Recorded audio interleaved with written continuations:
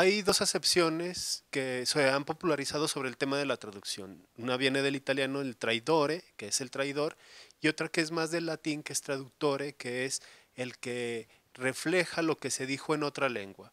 Sobre esto, sobre el tema de la traducción, platico hoy con la doctora Ana María D'Amore. Esto es Certezas y Paradojas.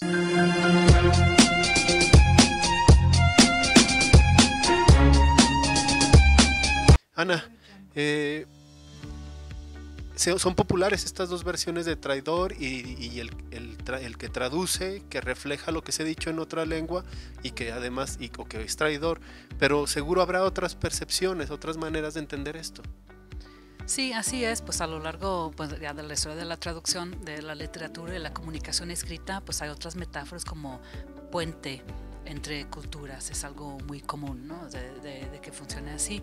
También en la traducción literaria se habla de, espejos y ventanas, ¿no? porque ya se reflejan eh, la obra original o, o, pues la ventana, pues, este, pues evidentemente pues hay más luz y pues se, ve, se puede a través de la traducción, a través de la ventana, se puede ver qué es lo que hay en, el texto original.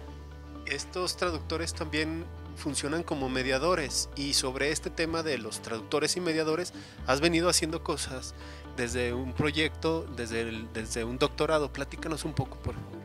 Sí, bueno, desde el doctorado en estudios nuevo hispanos hemos estado trabajando en, el asunto de, los intérpretes y traductores como mediadores eh, pues en, los tiempos de la conquista, por ejemplo, eh, y en, la evangelización.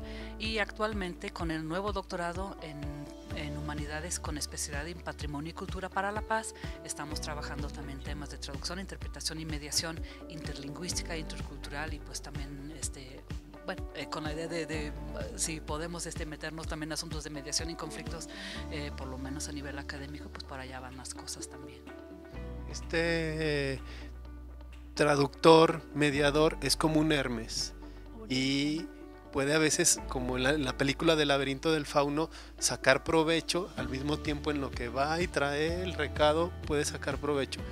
Hay muchos riesgos a la hora de traducir, me supongo, pues en ese sentido puede haber riesgos porque sí puede haber eh, cambios.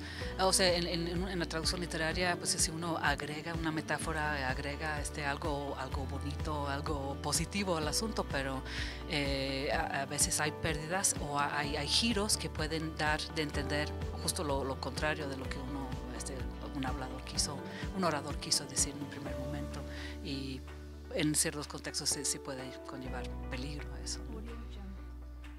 Bien, eh, quedémonos con estas muy rápidas ideas sobre los, la, voluntad de hablar, de, reflejarnos en el otro idioma con nuestro propio idioma.